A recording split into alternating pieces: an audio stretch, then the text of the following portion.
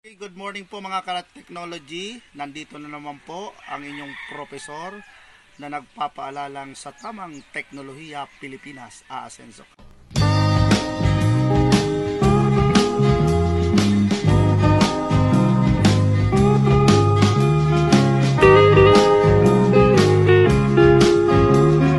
So usapang gamot po tayo ngayon dahil ah, nagkakagulo na po ang buong mundo para makadiscover ng mga gamot na makaka ah, gamot dito sa ating ah, sakit na uh, INCOV, yung ating coronavirus 2019.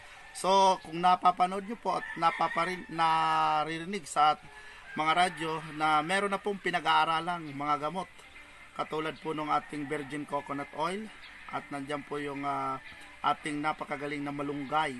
So ngayon, yung dalawa po sa halamang ito na ini-study po ng ah, Department of Science and Technology at ng DOH ay ito pong lagundi at ito pong tawa-tawa. So yung paggamit po ng alternative medicine ang topic natin ngayon. So ngayon papasok na naman po ang tagulan. So yung iba po kilalang kilala na po itong tawa-tawa. Yan, kung napapansin nyo. Ay yan po ay makikita lang natin mga damo. Yan dito po sa mga sa mga ilalim po ng ating mga tanim. Yan. Yan po. So isa po ang tawa-tawa sa ah, na recognize nung nakaraang taon na pinagamit na damo para sa mga tinamaan ng dengue. Ngayon pinag-aaralan po siya kung meron siyang potensyal na makagamot ng ating ah, coronavirus. Ah, isa pa po sa napakalahaga ang ah, paggamit nitong ating alternative medicine dahil meron po tayong batas yung ating tama the traditional and alternative medicine of 1997 na pinapaburan pinapaboran at rini-recognize ang paggamit nitong ating alternative medicine. So ano ba yung distinct characteristic?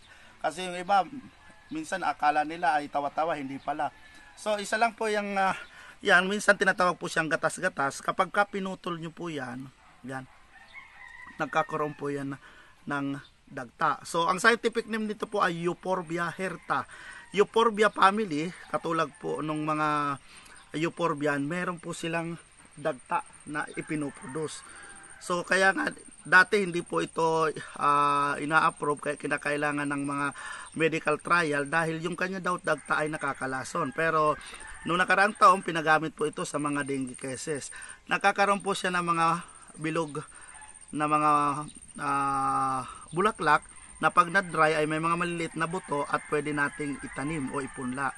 So malay natin pagdating ng panahon, ito palang mga damong ito ay ma-recognize na rin ng Department of Health at isa po dyan yung sa sampung halamang gamot, yan kung naalala po nyo ang napakasipag natin dating Secretary Dr. Jaime Galvestans na nagsusulong nung paggamit ng alternative medicine. Isa po sa kanyang naipasa sa sampung halamang gamot ay ito pong Betix nigundo or yung lagundi. Ito po meron na pong mga ah, ah, product, yung ating Plemex lagundi at pinag-aaralan din po ito na ah, pwedeng makagamot doon sa ating ah, coronavirus. So, napakahalaga po ang halamang itong dalawang ito at dapat na magtanim tayo sa ating mga likod bahay dahil may posibilidad na ah, mag, ah, maging gamot ito walang panahon sa mga katulad nitong karamdaman. So,